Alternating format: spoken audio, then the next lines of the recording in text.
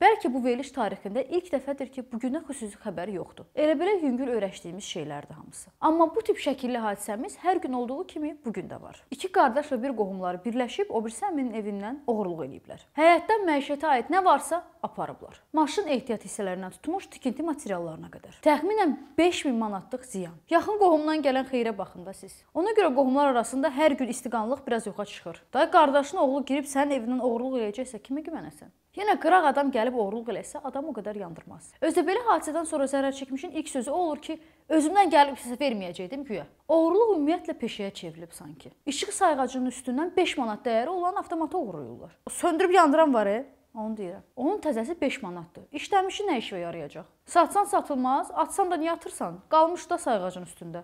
Bir dənə də Azərbaycan sayığı oğurluğu olub.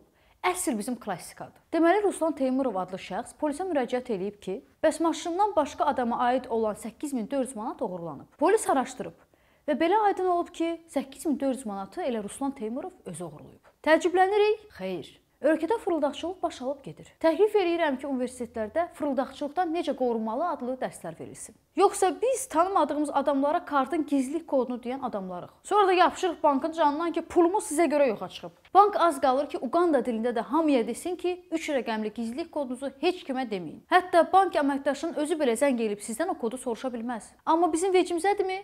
Yox. Biz kimə gəldi onu deyirik. Kimi də dindirsən deyir ki, məni heç kim aldada bilməz. Bəs bu hər gün aldananlar kimlərdir? Baxın Azərbaycan dilində necə aydın səslənir. Tanımadığınız adamlara güvənməyin. Çünki fırıldaqçı bir insan üçün heç bir dəyər mövcud deyil. O hər şey and içə bilər, hər cür inandırıcı ifadələr istifadə edə bilər. Tanımadığımız insanların hamısı pis deyil, yox. Amma aralarında pis insan olma ehtimalı var. Ona görə də ehtiyat igidin yaraşığı da məsələni dilinizin əzbərinə çevirin. Amma bu da tam olaraq o deyil. Bayaqdan deyirəm, tanımadığınız adamlar Amma bir də görürsən ki, elə ən yaxının fırıldaq eləyir. İllərdir evinə gəlib gedən adam elə bir iş görür ki, dərdini danışmağa adam tapmırsan. Çünki elə dərdini də ona danışırdın, işini də o eləyirdi. Polisə də gəlib şikayət edə bilmirsən, cəmaət deyəcək neçə ilin dostları idi, gör axırı nə oldu. Özünə də artıq bir şey deyə bilmirsən, çünki mənası yoxdur. Əsl üzü çıxıb ortaya. Cəmaət nə deyər fikrini atın qırağa. Belələrlə nə mübarizə lazımdır, edin. Yoxsa bunların nəsli tükənən deyil. Belə davam eləsə 100 ildən sonra bütün xalqa yayılacaq bu virus. Hamı olacaq fırıldaqçı. Bir-birini atmaq uğrunda amansız mübarizə gedəcək. Fırıldaqçı olmayanları da aşkarlayıb tutacaqlar. Bu gün filan yerdə haqqa girməyən, kimisə allatmayan adam tutub xəbərlərini oxuyacağıq. Məhkəmədə belə etiraflar olacaq.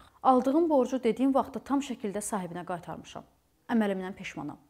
Zarafat bir tərəfə, bəlkə də 300 veriliş burada olmuşam. Mən sayının hesabını itirmişəm dərəduzluq hadisələrinin. Hələ təsəvvür edin bizim bilmədiyimiz nə qədər hadisə var. Həqiqət odur ki, ölkədə çoxlu sayda atanşik var. Reklamlarda təmizləyici vasitənin mikrobları yoxa çıxartması var.